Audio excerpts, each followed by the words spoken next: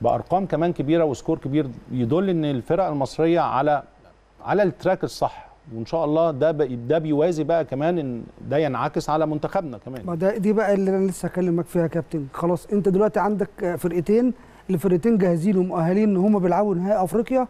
اللعيبة بتاعتها الحمد لله بفضل عند ربنا ما فيش إصابات. اللعيبة بتاعتها فايقة فهو يقدر يختار فعلا المكان المناسب واللاعب المناسب بالنسبة له. هي دي اللي أنا كنت بقولها. ده لازم الكابتن حسام برضو آه الفترة اللي جاية آه أنا مش هقول ليه عتاب أو هقول لأ. لا مش أنا هقول كل لعيب ياخد لو حقه. لو هقول إحنا كل لعيب للصالح بص يعني. يا كابتن هاني أقول كل لعيب لازم ياخد حقه لأن في لعيبة بتجتهد وفي لعيبة بتتعب وفي لعيبة بتتعب كتير جدا عشان توصل للحلم بتاعها إن يلبس فانله منتخب مصر يبقى لازم يبقى جدير بال بال بال بال بال بالذكر ده وقع عليه الاختيار. صحيح. هي دي اللي أنا بطلبها. تتوقع إيه النهائي؟ أتوقع إن شاء الله بإذن الله النادي الأهلي. النادي إن شاء الله يعني دي تمنيات كمان. بس إحنا بنقول لازم يبقى في حساب لفرقة نادي الزمالك. النادي الزمالك الفترة اللي فاتت عمال آه لعبته فايقة عمال بيكسب أهو بنقول بالثلاثه والأربعة. بيكسب بره بيكسب هنا واخد بطولتين عنده دفعة قوية جدا. لأن نادي الزمالك بالنسبة له آه هنتكلم بصراحة نادي الزمالك السنة دي خلاص اخد بطولتين فهو مش فارقة معاه حتى يعني آه ما تيجي تتكلم عن نادي الزمالك يقول لك أنا واخد بطولتين.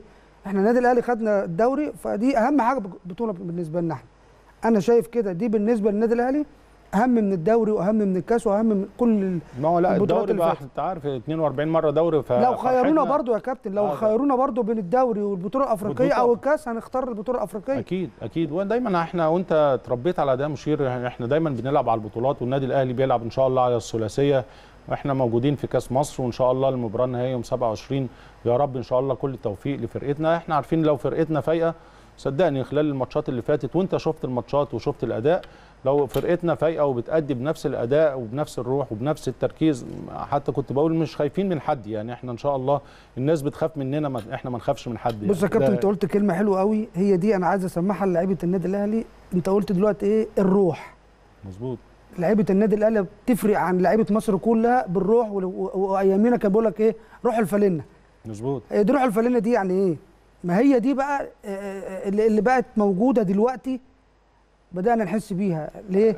لأنك أنت في في ماتشات بتبقى في لا مبالاة من اللعيبة في في بيقول لك ما عندهمش روح. لا الفترة اللي فاتت دي أنا شايف ال- ال- الروح بدأت ترجع لفرقة النادي الأهلي ولازم يبقى عندهم الطموح بقى خلاص. أنا الطموح وصلت للنهائي فورونا بقى إحنا. عايزين جمهور النادي الأهلي مش هيقبل يا كابتن غير البطولة. وإحنا عودناهم على كده. يعني حتى لما كنا بنلعب عودناهم على كده. فخلاص ده قدر كل من لبس فرنة النادي الأهلي قدر إن هو متع... يعني مطلوب منه البطولة. إحنا عودنا الجمهور على كده. ده حقيقي ده حقيقي. طبعا إن شاء الله بإذن الله البطولة أهلاوية بإذن الله. وزي ما أنت قلت يعني المباراة يعني إحنا إن شاء الله اللي بإذن الله إحنا اللي بنسهل المباراة وبنصعبها على مستوانا إن شاء الله نكون بس موفقين في اليوم دوت ويكون التركيز على أعلى مستوى.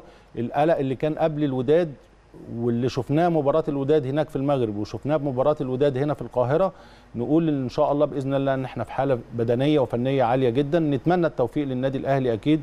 وزي ما أنت بتقول يا مشير إن هو نتمنى المباراة تخرج في إطار إطار أخوي وإطار يعني يليق باسم الفرقتين وجماهير الكرة وباسم مصر عامة إن شاء الله. دي أهم حاجة يا كابتن. إحنا إحنا بنقول إيه؟ اللعيبة دي رسالة بقى بنوجهها للعيبة. اعمل اللي عليك وسيب الباقي على آه، ربنا. كنت لسه هقول لك ادي كمان رسالة يمكن رسالة من خلال انت لسه دلوقتي عارف إن المباراه النهائية مع الزمالك ما بين قوسين كده يعني رسالة اولا للاعيبه النادي الأهلي والثانيه طبعا لجماهير